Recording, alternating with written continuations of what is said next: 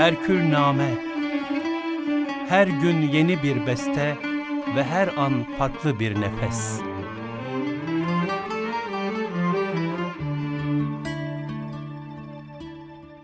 İnsanlığın iftihar tablosu ölüm gelmeden ölüme hazırlanmayı tavsiye buyurur. Hastalıklara karşı sadaka ile mukabelede bulunmayı tavsiye buyurur. Ve davu emrazeküm bis sadakat veya bis sadakati. Ve istakvelu günümüzde olan hadise bak. Ve istakvelu enva'al belâi bid dua başınıza gelecek, gelmesi muhtemel olan, hele günümüzde bir hortum çıkmış bir yerden size doğru geliyor. Değişik jeolojik araştırmalarla zelzele olma ihtimali var dediler. İşte onları da bir yönüyle duayla savmak lazım. İnsanlarda dua duygusunu güçlendirmek lazım. Her şeyi sebepler çerçevesinden izah etmek bu biraz bir yönüyle bir materyalistik, bir nim, naturalistik nim, yarı öyle, deterministik nim, şartlı determinizma bile olsa, sebepleri haşa müsebbibül esbabın yerine koyma gibi bir tehlike var orada. İradenin hakkını vermek lazım. İnsanın da hem konumuna göre hem de Cenab-ı Hakk'ın donanımına göre yapacağı bazı şeyler vardır. Hep buna şartı adi planında diyoruz. Fakat hiçbir zaman onu Cenab-ı Hakk'ın o sonsuz meşiyeti yerine koymamalı. Kendi planlarını ilmi ilahinin geniş planları yerine koymamalı. Kendi iktidarını Cenab-ı Hakk'ın kudretinin yerine koymamalı. Cenab-ı Hak Kur'an-ı Kerim'de kendisini kudretini ifade ederken daha Bakara Sure-i Cellesi'nde Hamdi Yazır çok temkinli olarak ikinci surede diyor orada. Belki biz de terbiyenin gereği ikinci sure demeliyiz. Öbürü de içinde Bakara'nın geçtiği sure demek. Bakara ile insanların imtihan olduğunu anlatan sure demek teşrihatta bulunmak lazım. Her neyse. Allah kadir değil de orada kadir ismi var. Kadir diyor. Ve Kur'an-ı Kerim'de daha ikinci sureden başlayarak hep ve hu ala kulli şeyin kadir. Kadir, kadir mübalağa kipiyle ifade ediliyor. Belki kaddar ondan daha şey olabilir. Fakat Kur'an-ı Kerim hep kadir diyor. Efendimiz sallallahu aleyhi ve sellem kendi dualarında kadir diyor. Ehlullah da dualarında hep gördüğünüz gibi kulubu dariyade hep kadir diyorlar. Allah'ın kudreti insanların kudretiyle mukayese yapılmayacak bir enginlikte, bir ihatada, bir evirme çevirme iktidarına sahip olmadadır. Bu açıdan sebepler bir şeydir fakat her şey değildir yani. Cüzi bir şeydir. Sebepler kudreti ilahiye karşı bir çağrıdır. Meşiyeti ilahiye karşı bir çağrıdır. Cenab-ı Hakk'ın teveccühatına karşı bir çağrıdır. Onları yaparken bu mülaza ile yapmak lazım. Bu sebeplere tevessül ederken. Hatta onlara bir manada tevessül etmek de Allah'a karşı saygının ifadesi. Tevessül ederken o saygıyı mülahazaya almak lazım. Madem sebepleri de sen yaratmışsın, senin yarattığın her şeyi öper başımıza koruz Allah'ım. Ama sınırları bellidir. Onlar sen değil. Bunun gibi. Onlara riayet edilir.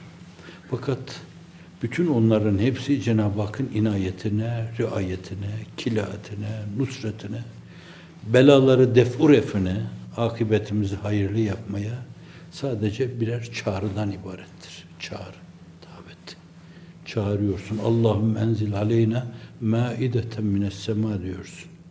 Şimdi bu çağrı gökten yemeklerin böyle pişirilip, hazırlanıp meleklerin eliyle muhteşem, müdebdep birer sofra halinde önünüze serilmesiyle tenasüb illiyet prensibine göre bir münasebeti var mı bunun? Evet. Hazır geliyor. İsrail oğulları mennü selva gibi bir şey yani işte ağaçların Yapraklarına, dallarına konuyor. Kudret helvası. Pıltırçınlar pişip geliyor. Tih arasında kendileri. Onların bu mevzudaki cehdleriyle, gayretleriyle telif etmek mümkün değildir. Bu aslında Cenab-ı Hak sanki bizim o minnacık ibadetü taatımızla bize cennet vaat etmesiyle de yine o tenasüpsüzlüğü gösteriyor orada.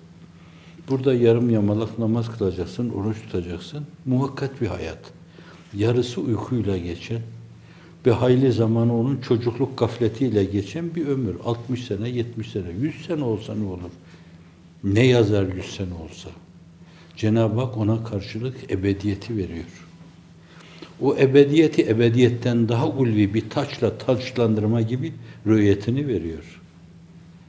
O mu önde, öbürü mü önde bilemeyeceğim ben onu. O mevzuda tereddüdüm var. Sonra ben sizden razıyım diyor. İliklerinize kadar nasıl bir zevk halinde inecek, sinecek kestirmek mümkün değil yani. Şimdi sizin burada yarım yamalak bizim. Sizin demeyeyim de ne mi lazım? Benimki yarım yamalak. Yarım yamalak kıldığınız namaz, tuttuğunuz oruç. Şayet Cenab-ı Hak imkan vermişse hacca gitmişseniz hac, verdiğiniz zekat. Bunlarla Allah'ın size lütfedeceği şeyler arasında o kozalite mülazasıyla bir münasebet yoktur katiyen. Minnacık bir çağrıdır bunlar. Siz size göre Sultan Ahmet Cennet Mekan aleyhir rahmet ve gufran Hazretlerinin dediği gibi sultana sultanlık nitekim gedaya da gedalık yaraşır. Biz birer dilenciyiz. Dilencininki budur. Nedir? El açarsınız. Tekeffüfte bulunursunuz. Teseülde bulunursunuz.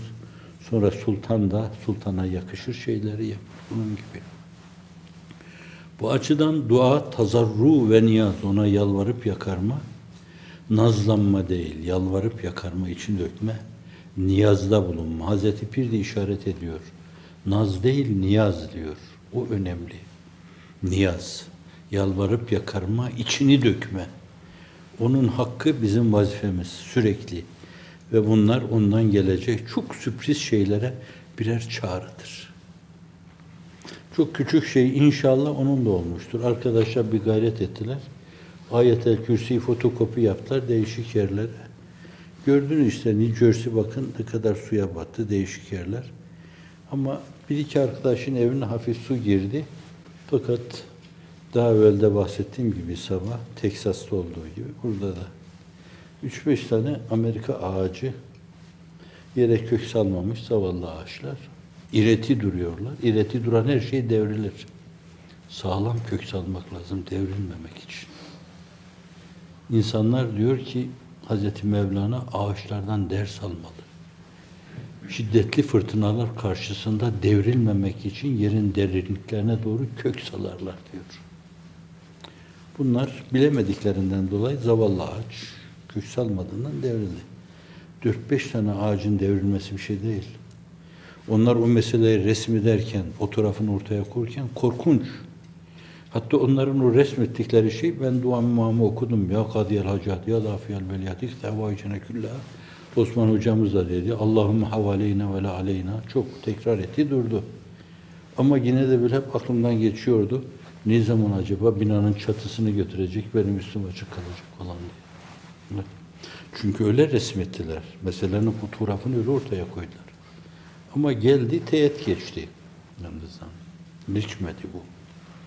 Şimdi başka şekilde izah edilemez bu. Başka zamanda. Osman Hoca diyordu. Yani gelirken bile bir kıvrılmış burada da. Bir eğri çizmiş, gitmiş öyle bile. Demiş ki bu adamlar hani tam olmasalar bile hiç de değiller yani. Yarım da olsa hiç değiller. Allah'ın inayeti. İşte bu kadar teveccüh bile ona nelere vesile oluyor, Cenab-ı Hak neler lütfediyor, bunları görmezden gelmemek lazım. İstakbelu enva'al belâi dua. Belanın her türüne karşı dua ile mukabelede bulunun. Allah savar onu. İnayetiyle, riayetiyle, kilatiyle. Üç şey zikrediyor burada. Sülasiyattır bu. Bunlardan bir tanesi de bu. Estakbelu enva'al belâi dua. Sallallahu aleyhi ve sellem sana ben kurban olayım. Var mı? Sen kimdin ona kurban olmak kim? Evet neyse nereden başladık buraya? Söylenen her şey tamamen ona müteveccih olmalı. Onunla irtibat mülazasıyla olmalı. Böyle ondan kopukluk içinde hafizan Allah kocaman bir maktağımız, bir cümlemiz, bir kelimemiz olmaması için elden gelen gayret gösterilmeli. Sözümüzün bütününe, hatta onun bir paragrafına, hatta onun bir cümlesine, hatta onun bir kelimesine bile şahsi mülahazalarımızın güve gibi sızmaması için elimizden gelen gayreti yapmalıyız. Hep onu mülahazaya almalıyız. Hazreti Üstad'ın 17. sözde aldığı gibi yeki hahi, yeki hani, yeki cuyi, yeki bini, yeki dani, yeki gül. Oysa şayet bence sadece onu söylemeli, onu dinlemeli, onu görmeli, onu bilmeli. Her şeyi bir yönüyle ona bağlılık mülazası içinde örgülemeli. O demeli, o demeli, o demeli. Huve, huve, huve, huve. Bin defa dese huve, huve. O ben değil, ene değil, nahnu değil. Huve, huve dese yine onun hakkını vermiş olmaz. Yapılan şey sadece o mülazaya alınarak yapılmıyorsa ihlaslı değildir. Kabule de karin olmayabilir. Diyor ki Hazreti Pir bir zerre ihlaslı amel batmanlarla halis olmayana müreccahtır. Bu bir sürü iş yapmama demek değildir. Fakat madem yapıyorsanız onun her zerresini ihlasla bezeyin. ihlasla taşlandırın. Çok yapma imkanı varken, derin yapma imkanı varken niye kendinizi sığlığa salıyorsunuz? İnşallah sizi incitmemişimdir.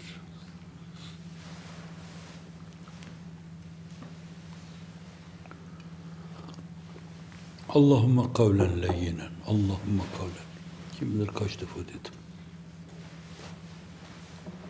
Allahümme kavlen leyyinen. Allahümme ec'alni halimen, selimen, evvahen, müniben. mütevâden, khâşen, mütekallikan bi ahlâkil Kur'an. Muhlisen, muhlisen, muhlisen, muhlisen,